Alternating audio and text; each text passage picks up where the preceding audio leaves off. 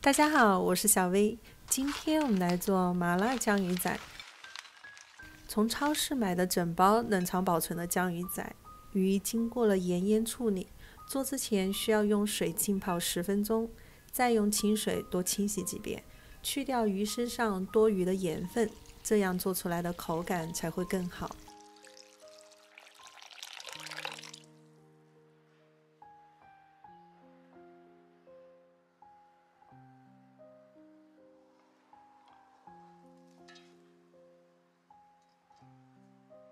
洗干净的江鱼仔沥干水分，倒入碗中，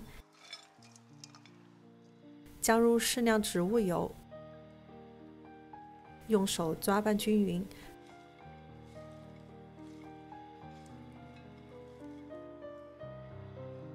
倒入烤盘上平铺摊开，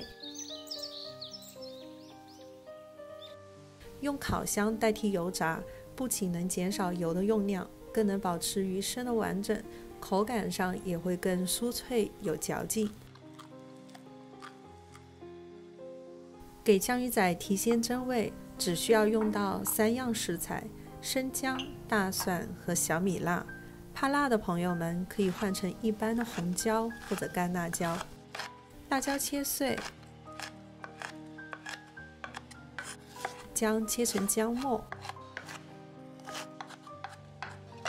大蒜这里用到了一球半，用搅拌机打成蒜末。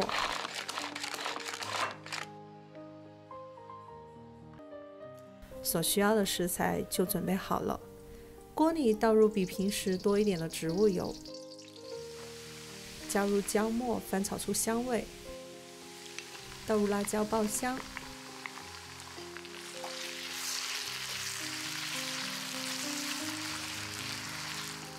一勺花椒粉提香，再倒入蒜末爆炒出香味。因为江鱼仔本身已经有盐味了，这里只需要放入调料所需要的盐的用量即可。调料入味之后，倒入江鱼仔翻拌均匀，让调料充分的包裹住每一条小鱼。锅里的江鱼仔已经是熟的状态，这时候的翻炒主要是为了让它跟调料充分混合入味。并不是为了炒熟，所以翻炒的时间不需要太长。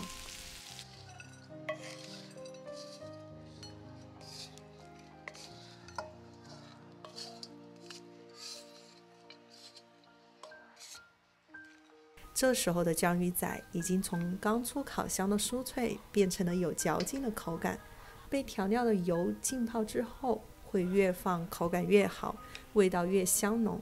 肉质越软而又有嚼劲，吃的时候装上一小碗，不管搭配白粥或者单做下酒菜，慢吃慢嚼都会是非常好的选择。